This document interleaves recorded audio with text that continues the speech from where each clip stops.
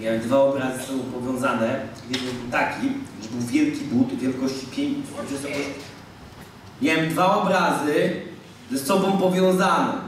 Jeden był taki, że był wielki but wysokości 5 metrów. I w tym bucie siedział człowiek i chciał z niego wyjść. I się trzymał w ogóle tego języka od tego buta i chciał przez niego wyjrzeć. I wydostać się stamtąd, ale nie mógł. Drugi obraz był taki, że widziałem armię, bardzo dużą, ale tam każdy trzymał nie swoją broń. Łucznicy stali na przodzie, jako pierwsza w ogóle na, na pierwszym ogniu, a zbrojni, zbrojni jeźdźcy byli z tyłu, a piechota była na szarym końcu. Dwa obrazy pokazują ludzi w nie swoim powołaniu. Człowiek nie chodzi w swoich butach. To jest w ogóle, to, to jest ta pierwsza rzecz.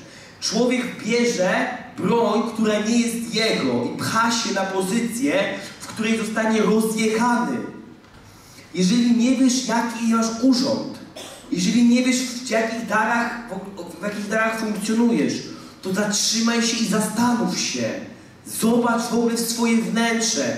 Spójrz, co masz w środku. Rozważ tę rzecz. Nie pchaj się na debila, na front. Nie pchaj się po prostu tam, gdzie jest trend. Nie pchaj się, gdzie tam jest ludzi najwięcej. Nie pchaj się tam, gdzie cię lubią.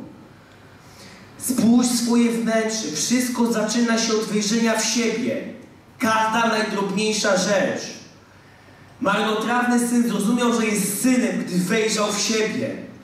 Wejrzyj w siebie, zobacz swoje serce, zobacz czym dysponujesz, zastanów się, spytaj się, ojcze, co ty we mnie włożyłeś, jaki potencjał ja mam dzięki tobie, jak mogę go wyswobodzić, gdzie, pokaż mi te rzeczy.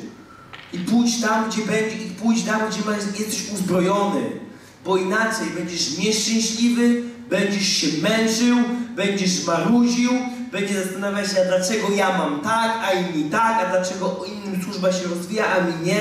Zatrzymaj się, zastanów się, czym dysponujesz, weź tą broń i dopiero wtedy pójdź działaj. Amen.